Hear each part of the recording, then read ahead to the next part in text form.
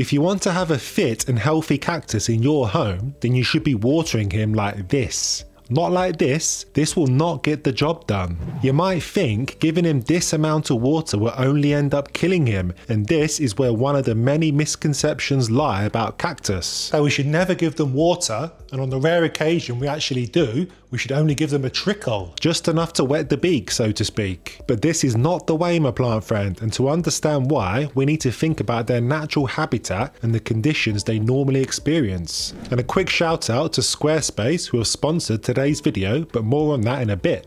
Now, it doesn't take a genius to figure out that cacti are desert dwellers. I think we all know this. They primarily live in the arid or semi-arid regions of deserts and dry grasslands. This means they're used to going long periods without water, but then get absolutely peed on when a short but intense rainfall arrives. This long period of drought means they have adapted to store water in their fleshy stems or leaves so they don't keel over and die after only a few weeks of no rainfall. This is a never watering your cactus part that I think most of us have got down pretty well. We have no trouble ignoring our cactus whatsoever. But if we never ever water our cactus, then we're in big trouble. And when we do come to water him, we must do so deeply. This mimics the intense rainfall they experience in the desert and ensures their reserves of water are filled up properly. Water with a little dram like this, and chances are those reserves aren't going to get topped up, and you know what that means. Cactus death and all the shame and self-loathing that that brings. I've been there, trust me. Anyway, there are two ways you can make sure you give your beloved cactus a decent drink. One is to take it over to the sink and pour water all over the soil, watching as all the excess water comes out of the drainage holes. Now don't be shy here, you can't give it too much at this point. I'd aim to give it at least one litre of water if not more. If you're worried about overwatering then don't be my plant friend. Overwatering is much more about frequency than volume. Leave a cactus to sit in water for weeks on end and you'll have root rotting problems. The other watering approach, and this is the one I tend to use because it's super super easy is to bottom water your little fella. Sounds dirty I know, but it's pretty normal. I add about a third of the volume of the pot of water to the pot and sit the plant on top. I found this to be just the ticket to give my cactus a decent drink, but not so much that it gets all bloated. But here's the important part. I always make sure to come back the next day and check if there is excess water still in the pot. If there is, I simply get rid. Symbols. But how do you know when it's time to actually give your cactus a drink? This is the bit that flummoxes lots of folks and it need not. The aim of the game is to let the soil dry out completely before giving it a drink. It needs to be bone dry. This is of course because the plant is storing water in the thick fleshy stems and leaves, so if you give it water too soon, you risk turning your plant into a mushy mess. But don't worry too much about that. As long as you're not giving it water every week, you should be fine. And by the way, mushy stems is one of the plant problems I cover in my Plant Problems Troubleshooting Handbook that you can download completely for free by scanning the QR code on the screen now or following the link in the description to this video. It'll get you out of a jam the next time something untoward happens with your plant, like yellowing, wilting, or droopiness, and it's all completely for free. Check it out.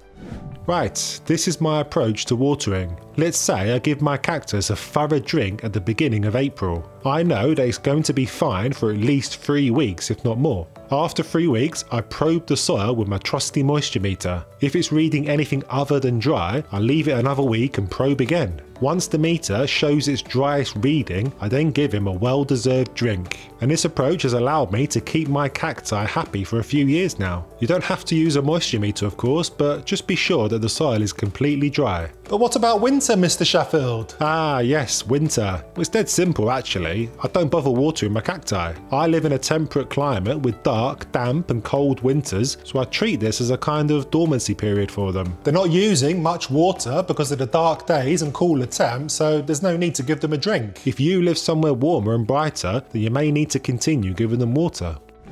Now the neat thing about cacti is that they will often grow these weird offshoot ball things, making them look even more alien-like. Did you know these are little pups that you can easily pull off and plant them into separate pots to nurture into adult cacti? This cactus was actually a gift given to me by Mrs Sheffield's aunt that she propagated from her plants. Now those babies are all grown up and expecting, ready for me to continue the circle of life. Obviously doing so is a bit tricky what with all those nasty thorns ready to slice and dice me the best chance they get, but I like to use some metal tongs to pry them off and plant them into little pots. I'll put these bad boys on, and while I'm doing that, did you know that Sheffield Made Plants has its very own website? Setting it all up using Squarespace was a cinch and Squarespace has actually sponsored this video. Initially I was clueless about where to start with creating a website, I really had no experience, but Squarespace simplified everything with user-friendly templates and tools. Now it not only looks fantastic but also functions perfectly with everything I want from a website. So why not visit squarespace.com for a free trial and explore it yourself? And when you're ready to launch your very own venture, use the link in the description to grab a 10% discount on your first purchase of a website or a domain. Let the creativity flow.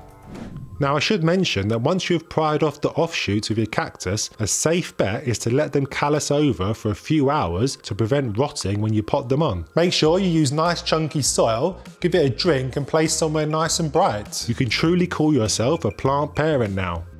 The key to watering success is the soil they live in. Remember, they live in dry desert regions and grow in sandy, gravelly or rocky soils that drain very quickly. This means water is not sat around their roots for long, oversaturating their fleshy stems. So stick a cactus in a heavy soil meant for the garden and you're in for a rude awakening my plant friend. So use a well draining potting mix. But what does that even mean? It's just a fancy term for soil that has bits and pieces like bark and perlite added to it to increase air air pockets in the mix that then allow excess water to easily drain through, mimicking the porous nature of the native soil. This means the soil mix dries out much quicker than if you just use topsoil, and this is perfect for cactus health. You can, of course, DIY a soil mix, but a safe bet would be to buy ready-made soil mixes designed specifically for the job. I use soil mixes from SyBotanica because they've got a specific mix for pretty much all plant types on their website, including succulents, and you can nab yourself a 10% discount by using my referral link in the description.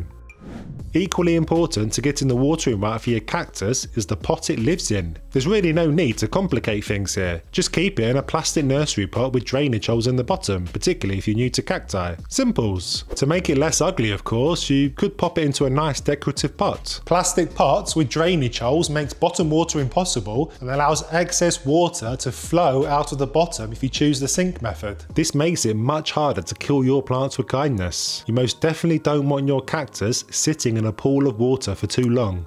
So that's your watering nailed. Now let's talk about another common misunderstanding when it comes to cactus care. Light. Cactus love sun, right? The more the merrier, you might think. I mean, they bask in it all day in the deserts of their natural habitat, and we should mimic this as much as possible, right? Uh, sort of. It is true that they need exposure to a decent amount of direct sun. We're talking at least a good six hours for optimum health for most cacti species, but you need to be careful. They also need some protection during the hottest part of the day, especially if you live somewhere with scorchio summers, which isn't much of a problem for me here in Costa del Sheffield. So if you can filter sunlight or give him some shade during the hottest part of the day, it will prevent sunburn and overheating and you'll be plant parent of the year. Like I say, this isn't really a problem for me. The sun rarely comes out to say hello round here, so I leave mine to sit in the sunniest spot in my home all day and they're happy as Larry. So basically the aim of the game is 6 hours of direct sun, but watch out for midday sun if you live somewhere hot. By providing your cactus with the light he needs, you'll have a much better chance of him rewarding you with a bouquet of flowers. So how do you know if the light you are getting in your home is bright enough for your cacti? Well, I've got this light meter that tells me just how bright a particular spot is in my home and I found it to be very useful. I think there are apps on your phone that do the same thing, but maybe less reliably, but you should be able to get a steer anyway. You want light as near to 1000 foot candles as possible to mimic the bright light they need. And what do you do then if you're not able to provide yours with what he wants? Maybe you live somewhere where the sun is blocked from coming into your home for a few hours of the day. Well, to get the best out of your little friend, you might consider adding a grow light to the mix. Grow lights are great for any plant because you get to play God and have total control over how much light our little buddies are getting and for how long. I've got Sansi lights all over my house because they're great and I've got a link to a 15% discount in the description so check it out. That's light, water and soil covered. What about fertiliser Mr Sheffield? It's pretty simple really because cacti have adapted to survive in nutrient poor soils in their natural habitat This makes things easier for us. Probably. So they're used to growing in environments where nutrients are scarce and have developed nifty tools for conserving and using the limited nutrients available to them. So give them a very light feed during spring and summer and cut back entirely in the winter if your winters are cold and dark and the plant has stopped growing. It's much better to under rather than over fertilise these bad boys because you start to see issues like root burn and salt buildup in the soil. I typically give mine a feed of houseplant focus every couple of months during the summer and that's it. You might want to consider giving a cactus specific feed though to make sure everything is in order. So you've got cacti sussed out now. You now need to know how to keep succulents alive and kicking for the best cacti and succulent display, including why you should never touch the leaves with your hands. So click on the video on the screen now. And subscribe for more fun. See you next time.